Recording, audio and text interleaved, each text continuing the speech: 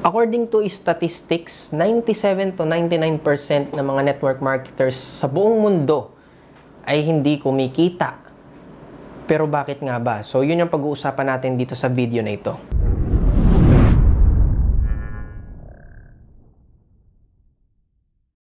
Before tayo mag-proceed sa video na ito, ang gusto ko na gawin mo ay tapusin mo tong video na to hanggang dulo para makuha mo lahat ng lessons.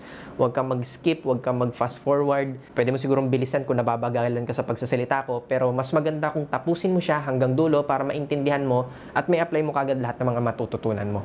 Hey there, Ethical Nation! This is your friendly neighborhood Carl Serrano and sa video na ito, pag-uusapan natin yung 10 pinakang rason bakit maraming network marketers ang hindi kumikita sa business natin or sa network marketing business. So, shout out by the way dun sa mga network marketers na sumagot dun sa tanong ko. Nag-post ako nito recently sa Facebook profile ko and dun sa group namin sa Ethical Nation na ano sa tingin nila yung pinakang rason bakit maraming mga networkers ang hindi kumikita sa business nila at bakit.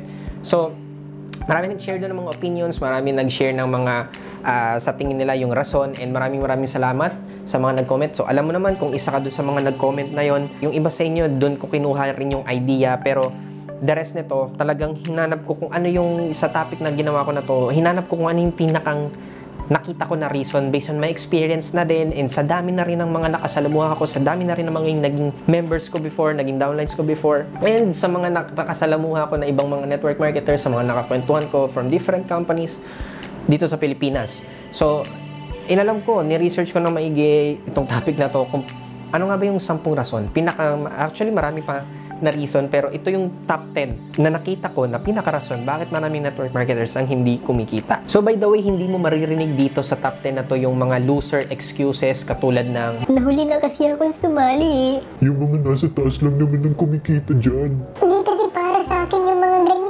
So wala kang makikita ng mga ganong excuses ng mga losers. Hindi yun ang rason kung bakit hindi kumikita ang uh, isang network marketer.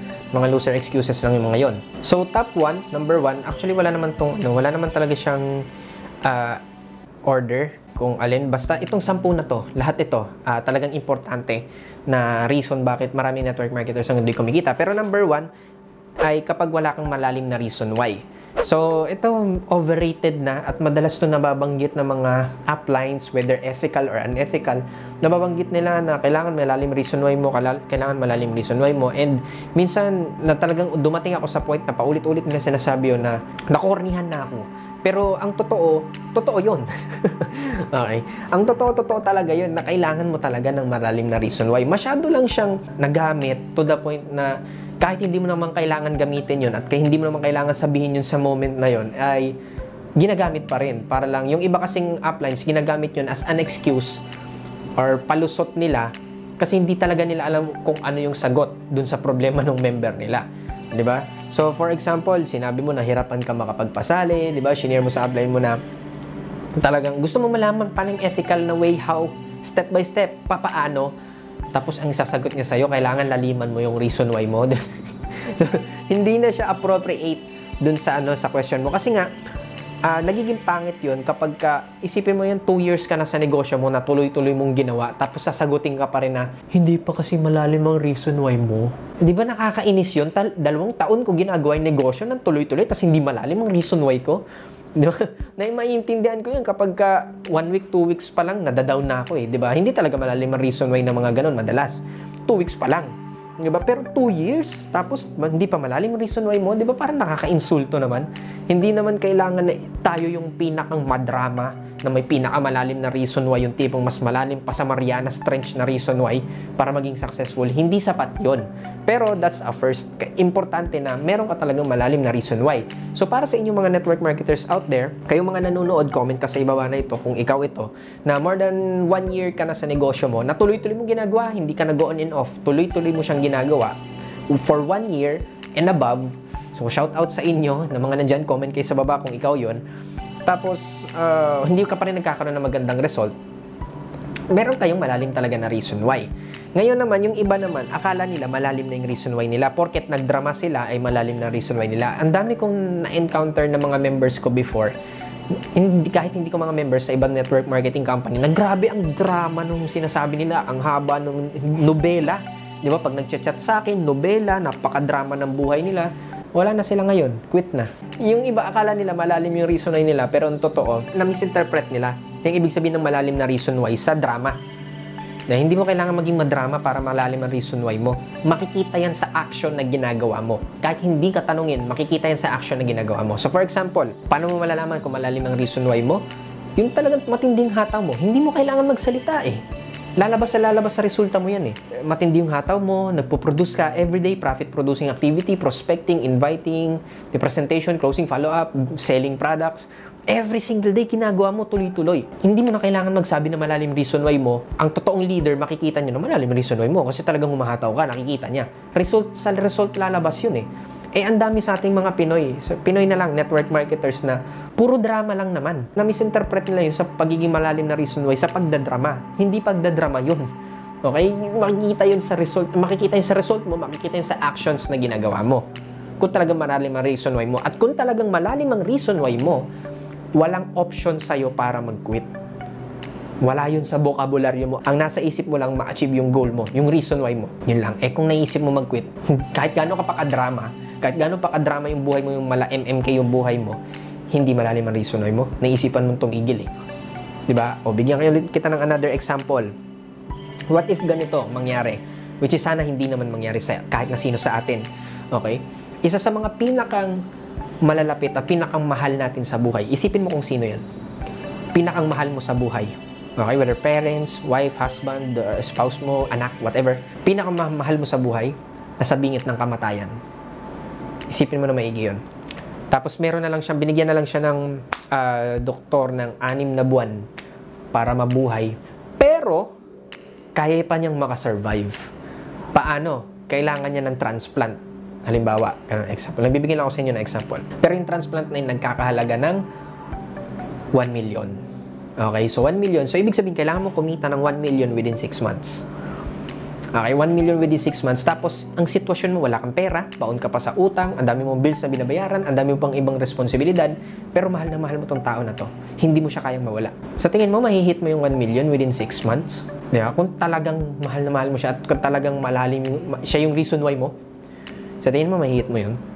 Of course, kahit ako, kahit ako, gagawin ko lahat. Bahala na. Patay kong patay. Gagawin ko lahat.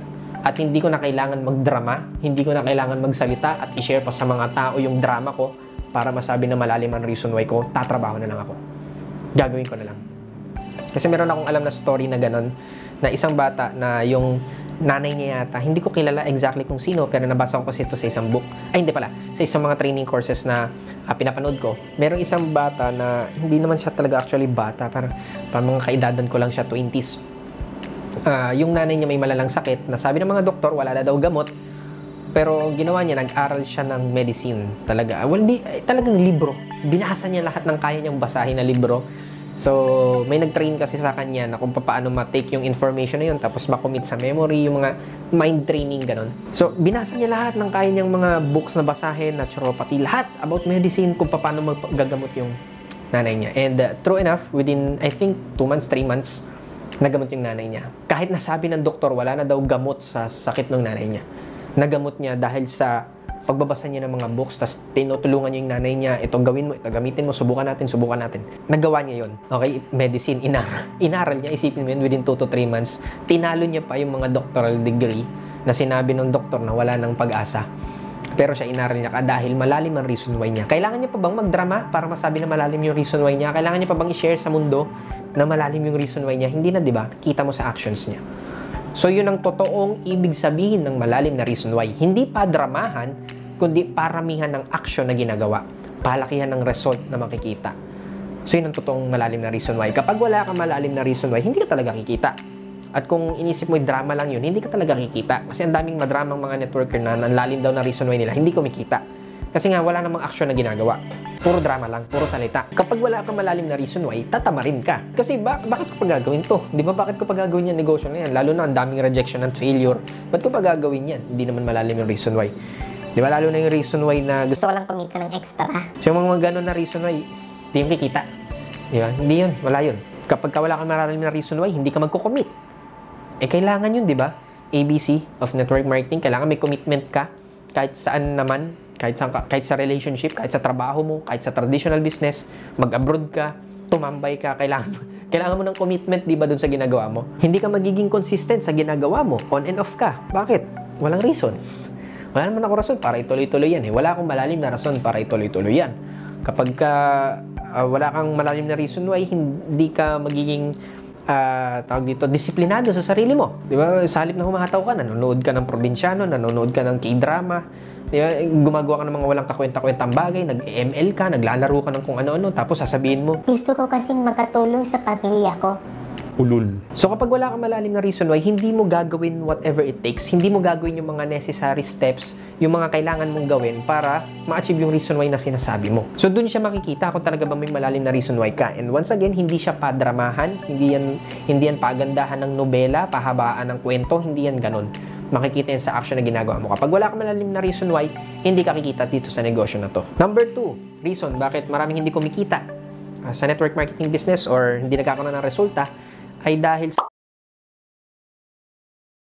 Once again, maraming maraming salamat sa panonood mo ng mga videos ko. Make sure na mag-subscribe ka and i-click mo yung notification bell nang makakuha ka ng mga notification kung sakasakali na may mga panibago akong videos para ikaw yung unang makakaalam. So once again, thank you sa panonood mo and see you